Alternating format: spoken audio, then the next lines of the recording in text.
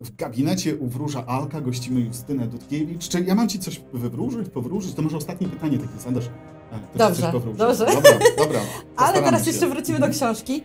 Zaczynasz mocnym prolog prologiem. Nie powiem, co w nim jest, ale chciałam Cię zapytać, czy byłbyś w stanie zabić Różę Król? No to nie zdradziłaś, co jest w prologu faktycznie, nie bunder świśnie. E, wiesz co, bo tym razem wyjątkowo ja staram się robić to, co, e, czego sam jestem fanem, ponieważ jestem e, fanem tworzenia filmów przez Hitchcocka, gdzie na początku jest trzęsienie ziemi, a później napięcie ma rosnąć, to spróbowałem też tutaj rozpocząć od trzęsienia ziemi, tak żeby wszyscy zrobili takie i żeby z tym zostali przez moment. Wiesz co? A, a jakie było pytanie? Bo zdążyłem zapomnieć. Czy był, znaczy, części. może nawet nie tyle, Czy byłbym w stanie nawet nie tyle, czy byłbyś w stanie, czy na przykład myślałeś, w jaki sposób taki spektakularny mógłbyś to zrobić? Wiesz co? E, byłbym pewnie w stanie ją zabić, ona jest dość koszmarną osobą do pisania. Są, Irytującą też są takie momenty, kiedy ja myślę sobie, kiedy wcielam się w Darskiego, komisarza Mhm. policji, który jej nie znosi. Są takie momenty, kiedy myślę, albo ty, albo ja. Ale nie, wiesz co, bo ona jest bardzo, bardzo sympatyczna. Teraz jeszcze mam dodatkowy zgryz, ponieważ odkąd e, była e, inscenizacja powieści Raz, dwa, trzy giniesz ty, w której Róża Król zagrała główną rolę, to ona już nabrała dla mnie cech, takich fizycznych cech. Ja już wiem, jak ona się uśmiecha, wiem, jak wygląda, wiem, jak jest umalowana, wiem, jak ma, e, jakie ma uczesanie. Chociaż co sztukę, ja byłem chyba na pięciu czy sześciu sztukach, tak żeby sobie porównać, jak, jak to aktorzy się z tymi... To pierwsza, pi- pierwszy spektakl to zawsze jest taki spektakl bardzo niepewny, bardzo rozodgarny, rozodrgany, bo aktorzy też muszą e, z tym tekstem się oswoić, zobaczyć na jakie dowcipy publiczność, publiczność reaguje, jakie tam trzeba jeszcze podrasować odrobinę. A, I e, też ewoluowało troszkę uczesanie Róży Król. Ja pamiętam, że jak ona wyszła chyba na piątym czy szóstym przedstawieniu i to naprawdę był, było tak, jak gdyby prosto z tornado, z tornado się tutaj dostała do teatru, to nawet ja zrobiłem takie i teraz mam to w głowie, pisząc książkę, mam tę postać i myślę, że już teraz na tym etapie bardzo trudno byłoby ją zabić. Mi, co nie znaczy, że komuś innemu z No, książki się nie uda. O, oczywiście. Odsyłamy do, odsyłamy do prologu. Tak, dokładnie. Zdecydowanie. Y, jakby fabuła tutaj też trochę się opiera o przypowiednie. Czy Mhm. byłeś kiedyś u wróżki i wierzysz w takie, w takie rzeczy, że faktycznie to, co ktoś ci wywróży, może się zdarzyć? Ja dostałem kiedyś, dawno, dawno temu, to było chyba z 19 czy 20 lat temu, jak e, rozpoczynała się moja przygoda z dziennikarstwem i, e, z prasą, dostałem do, e, jako zadanie napisanie reportażu o wróżkach. I e, potraktowałem to e, trochę z przymrużeniem oka. Tak faktycznie odwiedziłem wtedy chyba z 5 czy 6 gabinetów wróżby. I tak za każdym razem, ja, wiesz, ja, jestem takim troszkę cynikiem i tak sobie siedziałem, patrzyłem jak tam te kobiety coś usiłują robić, tak myślałem, mhm, no jasne, i zaraz mnie zapytasz o to i one z reguły pytały, w związku z tym, no jasne, ja ci to powiem, a ty mi to później za 10 minut powtórzysz z kart. No, super. I, I taki byłem kompletnie nieprzekonany, aż trafiłem na naprawdę kobietę, która, którą jak nawet dzisiaj wspominam, to mam gęsią skórkę, która nie dała mi powiedzieć ani słowa, e, rozłożyła przede mną, tam kazała mi usiąść, poprosiła o podanie daty urodzenia, coś tam sobie poobliczała, poobliczała i zaczęła mówić. I ona mówiła przez 20 minut. Mówiła rzeczy, których absolutnie nie mogła o mnie wiedzieć. To nie były jeszcze czasy. W tej chwili łatwo jest nas zinwigilować, ponieważ jest internet. Tak. Odpala- Odpalasz sobie Facebooka i tak mniej więcej potrafisz sobie zbudować portret psychologiczny każdej osoby. Natomiast wtedy to jeszcze nie było Facebooka. A ona wiedziała takie rzeczy, których e, nie wiedzieli nawet moi najbliżsi przyjaciele. I, wtedy się przeraziłem. I to pamiętam, że to była dla mnie gdzieś od 15 minuty taka bardzo traumatyczna przygoda.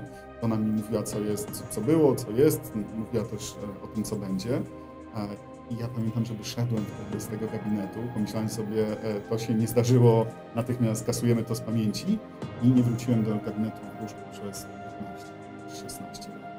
Ale ostatnio jak e, z- różnych przyczyn, z różnych powodów i e, też mając w tyle głowy to, że gdzieś tam będę chciał to wykorzystać, cały ten aspekt wróżenia i e, ezoteryki wykorzystać wcześniej czy później w jakiejś książce, poszedłem znowu do tej samej pani. I powiem Ci, że to znowu było traumatyczne, bo ta, nie mogę powiedzieć cholera, chciałem powiedzieć ta cholera, ale ona by się nie oburzyła wcale, wcale, bo ona jest też taka tym wszystkim, co mówi, taka trochę jowialna, to, e, to, to faktycznie ona znowu wie rzeczy, o których nie powinna wiedzieć i których ja nie, nie opisuję nawet na Facebooku i faktycznie powie się. Więc powiem Ci, że przygoda z e, taka, która rozpoczęła się od typowej beki, zakończyła się na tym, że jedna dziesiąta mnie zaczęła wierzyć, że coś jest na rzeczy, a ponieważ ja się takich rzeczy potwornie boję, no to od tej pory staram się przebywać w gabinetach wróżek jak najdalej, trzymać się, to znaczy jak najrzadziej, trzymać się od nich jak najdalej. I wychodzę z założenia, że życie jest dlatego piękne, że nie wiemy, co będzie jutro i możemy e, wyobrażać sobie i tworzyć w naszej głowie jakieś fantazje, że a jutro to, a pojutrze to, a za miesiąc to, a za rok to, niż wiedzieć, że na przykład guzik z tego nie będzie, no bo Mhm. karty na przykład pokazały, że nic z tego. No także to, to moja odpowiedź. Tak, chodziłem do wróżek, A teraz sam nie a, wiem. a teraz, sam, a teraz odkąd, odkąd uwierzyłem, to już nie chcę chodzić. A jeszcze taki, a, a, samo, samo przypowiednie to jedno, ale a wywoływałeś kiedyś duchy? Jak- Za dzieciaka albo... Jak byłem małym dzieckiem, to tak, ale to pamiętam, że to znaczy dzieckiem, nastolatkiem, bo to na e, koloniach już było i na obozach, ale pamiętam, że e, wtedy było tak, że wywoływaliśmy duchy i wywoływaliśmy najpierw e, Jima Morrisona, później wywoła, próbowaliśmy wywołać e, Andy Warhola, a na koniec e, wywołaliśmy, i to nam się najlepiej udało, Woody Allena, bo wydawało nam się, że nie żyje. On się znakomicie odezwał ze światów, a później sobie sprawdziliśmy, że żyje. No i wyszło na to, że tam guzika nic nie wywołaliśmy. Nie, nie, nie, nie udało nam się. Aczkolwiek to jest fajna zabawa. Ja tego przyrządu, do, który jest tutaj na okładce książki, e, który nawet nie wiem, jak go się wymawia, szczerze O- mówiąc. Ouija? coś takiego. A wiem, jak go się pisze, nie wiem, jak go się wymawia. To ja mam tak, że ja się staram od takich rzeczy trzymać z daleka, bo to licho nie śpi. Niby nic, niby nic, niby nic. Też nie chcę tutaj zasłużyć na, później powiedzą, a no, przesądny, jak, Nawiedzony. jak, jak stara kobieta. nawiedzone. Tak, tak, albo nawiedzone, ale przyjmuję gdzieś tam, że jest być może jakaś, a, ja- jakaś płaszczyzna, jakiś aspekt życia, którego nie jesteśmy w stanie objąć rozumem, a, a ponieważ mnie, tak, tak jak mówię, ja jestem dość racjonalny, w związku z tym mnie te wszystkie nieracjonalne rzeczy trochę budzą we mnie niepokój, więc staram się od tego po prostu trzymać z daleka. I teraz jasne, że sobie tutaj powróżę w moim gabinecie magii dla, e, dla zabawy e, i dlatego, żeby e, Nie też... dla zabawy. Nie, nie, tak, dobra, to nie mówię. Dlatego, żeby paru osobom rozjaśnić mroki ich niepewności. Dokładnie. Natomiast, no tak jak mówię, staram się od takich rzeczy tak na co dzień trzymać z daleka. Jednorazowa przygoda przy okazji miasteczka. Yy, mam jeszcze Ciebie pytanie. Mm, Czy któreś z postaci, które są w książce, Mhm. yy, to jakby po pierwsze, czy kimś się inspirowałeś tworząc konkretne postaci, Mhm. oprócz tych, które już tam znamy, tak jak, tak jak Róże Król, Mhm, mhm, czy, ym, no, czy tam te, co się jakby powtarzają, mhm. Yy, czy się inspirowałeś to raz, a po drugie, czy od początku wiedziałeś, kto finalnie zabije? Tak. Tak, tak, tak. Bo ja zawsze mówię, że ja jestem totalnie nielogicznym człowiekiem w życiu. W związku z tym przy pisaniu, zwłaszcza kryminałów, muszę być logiczny.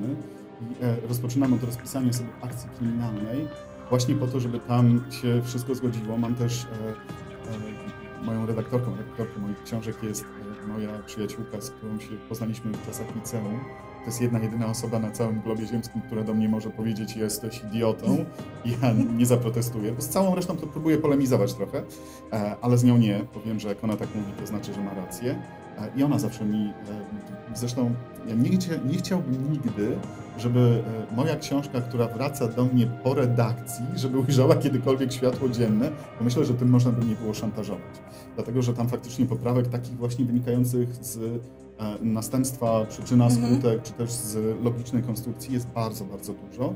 Więc, e, więc tak, ja raczej od samego początku wiem, kto zamorduje, bo to jest dość kluczowe dla kryminału. Staram się, różne rzeczy mogę sobie po drodze zmieniać, ale tą taką główną oś kryminalną staram się zachować tak, jak ją na początku wymyśliłem. A jeżeli chodzi o inspirowanie się, wiesz co, ja bardzo, ba- nie przyznam się, żebyś mnie tutaj przytapiała, albo nie wiem, usiłowała torturować za pomocą prądu z magicznej kuli. Nie przyznam się do tego, ale jeżdżę sporo po kraju, odwiedzam bardzo e, dużo małych miasteczek i myślę, że to jest taka suma moich doświadczeń w tychże miejscach. Aha. Dobra, to może teraz mi powiesz. No właśnie, dawaj, coś ci tutaj wypróżę, przynajmniej się postaram. Szurnęliśmy po stole, latami. Co byś chciała, czego byś się chciała dowiedzieć? Czy te pączki, które zjadłam wczoraj, pójdą w cycki? Wiesz co, to ja... W końcu. No, to, do tego nawet kart nie trzeba, zobaczymy. Zobaczymy, zobaczymy co tam. Bierzesz sobie 7 kart? Tak. No. Po kolei? Odkładaj je w taki, e, tak, jakbyś chciała, żeby one zostały rozłożone na stole później. To tak na stosik? Tak, na stosie. Boję się trochę. Widzisz? Niby nic, niby nic w taki sposób. No, Dobrze. Ej, później po pracy, spokojnie. A, jednak jest pewna niepewność. Ja tak się boję. Widzę drżenie ręki. Nie wiem, ileż wyjęłam. Jeszcze. Jeszcze. Dobra, zobaczymy. Jak będzie śmierć, to nie mów. Nie ma nigdy. Śmierć to nie jest zła karta wbrew temu, co można by było przypuszczać. Masz ją notabene.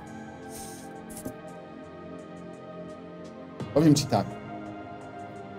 Nie za dużo tych pączków, dobrze? Mhm. Ponieważ za dużo pączków wcale nie będzie powodowało u ciebie zbytniej e, radości, tylko wręcz przeciwnie, lekką chorobę. A spokojnie. E, Natomiast jeżeli e, zaczniesz zupełnie cokolwiek innego w swoim życiu, na przykład, przykro mi to powiedzieć, ale mi to też wypada, więc witaj w klubie. Jeżeli będziesz chciała sobie rozpocząć jakąkolwiek dietę, czyli zerwać ze starymi nawykami, śmierci cię, to jest właśnie ta straszna karta, a i e, zrobić cokolwiek nowego w swoim życiu, czy to będzie zmiana diety, czy to będzie nie wiem, fitness, czy, czy cokolwiek, to wtedy osiągniesz absolutnie sukces w tym, co sobie zamierzysz.